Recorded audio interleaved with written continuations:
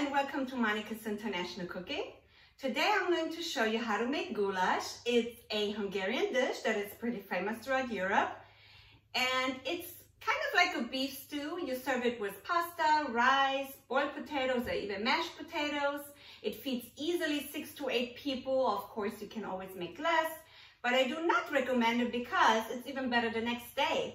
My mom used to work two jobs, so she would make that sometimes on a Sunday, and then she could make it another day because it would last, especially when we're downsized a little bit.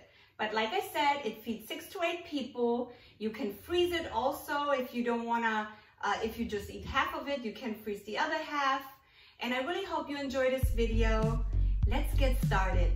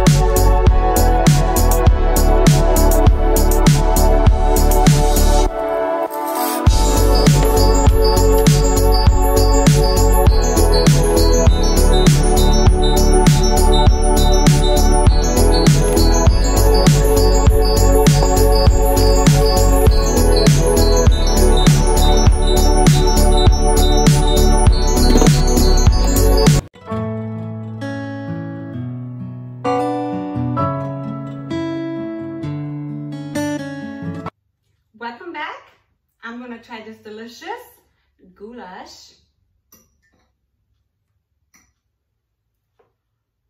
Mmm. Mmm. The meat is so tender. And the flavor in it, the wine and the caraway seeds gives it a really special touch. If you never had this dish before, or you had it before and are happy that somebody posted a video, please make this at home. I try to make it as easy as possible so you can just follow. You can follow me on Instagram, YouTube, and Facebook under Monika's International Cooking. Monika a K. Give me a thumbs up, subscribe to my channel. Cheers! Thank you for watching.